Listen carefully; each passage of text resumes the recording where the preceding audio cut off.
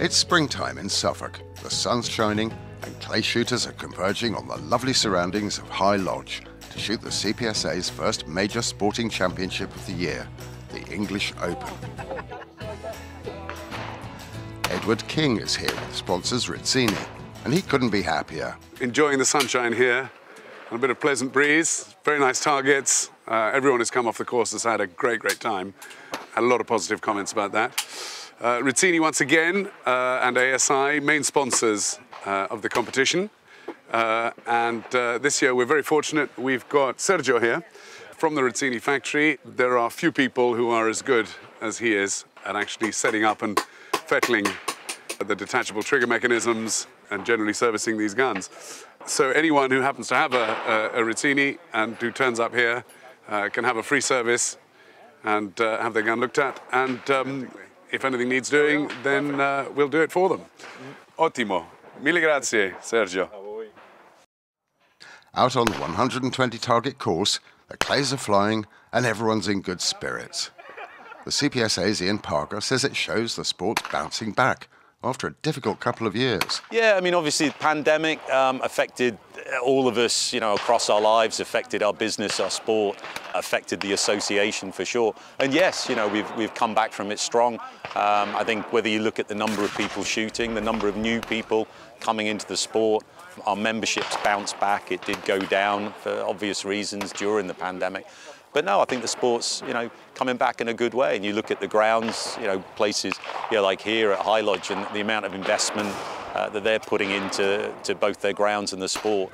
Uh, I think you know the future is bright. You know we've got issues for sure, the economy for one, and rising prices. Um, you know, but I think you know where we look where the sport will be in the future is something that we're very focused on.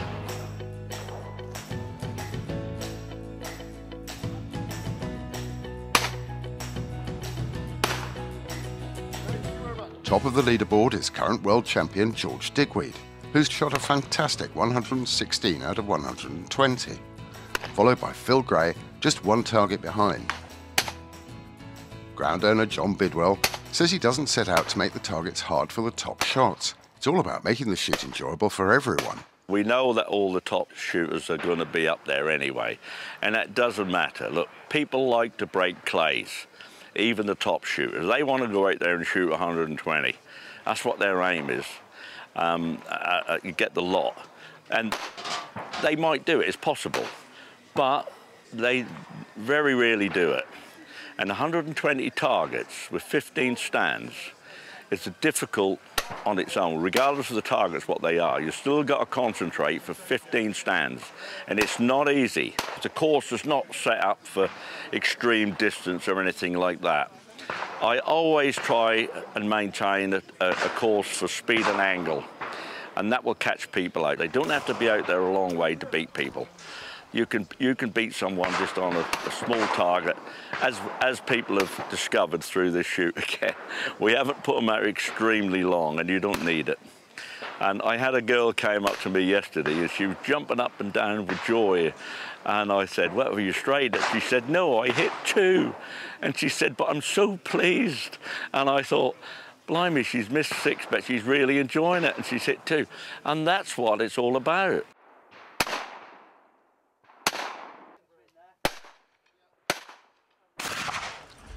Billy Bourne has put in a very respectable 105, but he feels he could have done better. Yeah, it's, it's a good little shoot. You know, there's a bit of everything, isn't there? Um, yeah, I enjoyed it. Um, just, didn't, just didn't shoot very well. You can't shoot well all the time. Well, it'd be nice to. Billy's shooting his trusty Miroku MK38. Uh, it's a trap gun, but with multi-choke barrels. I've sh I've shot Mirokus well forever really since I started. So eight or nine years. They do the do the job perfectly. My maintenance isn't as good as some people's, um, as a lot of people know, but I've literally never had a single problem. It's still on the original pins. Uh, it's never had a spring. It's, it's um, faultless, to be honest.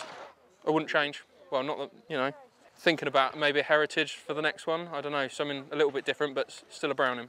Billy's not the sort to chop and change his teague chokes to suit the targets. I shoot the same chokes, at everything. I'll shoot one shot size and one cartridge at absolutely everything. That view is endorsed by Rodrigo Crespo, managing director of another of the shoot sponsors, Eley Hawk. you know what they say, if you are really into it, just focus on the shot and focus on the clay. Leave aside, when you're on the stage, you just have to, to, to think about the flow, the movement, you saw the clay, and, and stop thinking about the cartridge, stop thinking about the choke, just be focused and, and do your best because you have been really practicing, you have really been, uh, you are really ready for it, you have nothing else to worry about the cut is going to be there and you know that you have got the ability just to smash them. So just go and have fun. So, what cartridges would Rodrigo suggest for shooting an event like the English Open?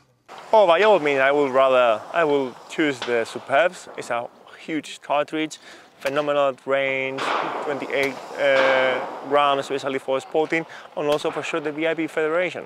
Though for top shooters, they will also always go for VIP Sporting because have the most reliable, always been around, and, and they are so effective that they will never let you down. Yeah. As the last squads come in, George Digweed and Phil Gray still hold the lead, but there's five shooters tied on 1-1-3 for the remaining four places in the super final, and that means a shoot-off.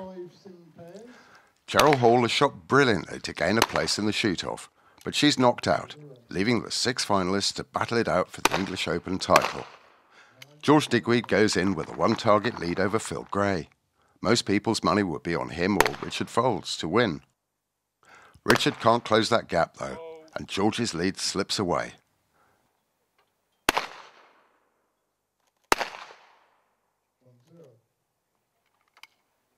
Meanwhile, Paul Batchelor is quietly creeping up behind them. In the end, it all comes down to Paul's final pair,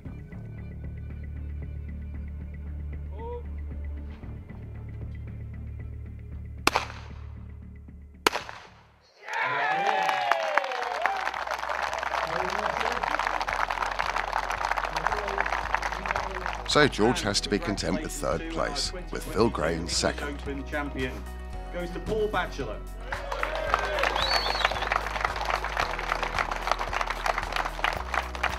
Yeah, I'm just, yeah, I'm over the moon with it. Yeah, I really am.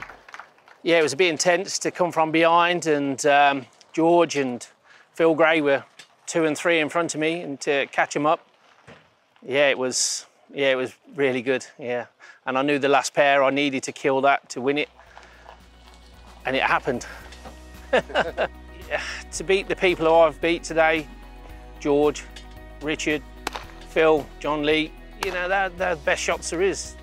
I go all around the world, but never been in like a super final like this, uh, and to beat them, it's, yeah, massive thing.